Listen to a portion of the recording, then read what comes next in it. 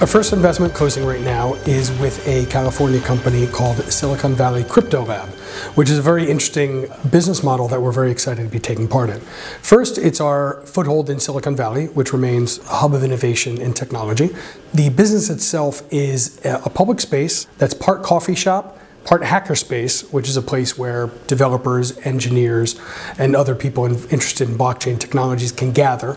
So during the day, we open the doors to this, and we have uh, computing power that's available for the community to experiment with, to develop new ideas, just sort of network and get to know each other. At night, we turn over those computers to cryptocurrency mining, which, uh, in case you're not familiar, is sort of the process of how Bitcoin and other cryptocurrencies run. This is what the blockchain is. It's called mining to write these records and keep the records moving that drive Bitcoin and the value of other these currencies. So by turning over our computing power at night to mining, we actually create a revenue stream. And it's a bit of an experiment, and it's something we're very excited about to put the revenue from cryptocurrency mining to use for this public community space during the day. Personally, I believe that cryptocurrency is a genuine financial revolution. Whether or not it becomes a stable investment vehicle is another issue.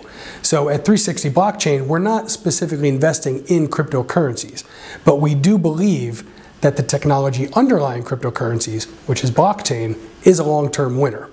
But cryptocurrencies themselves, Bitcoin, Ethereum, Litecoin, and there are more than a thousand others at this point, are driving a new financial asset class.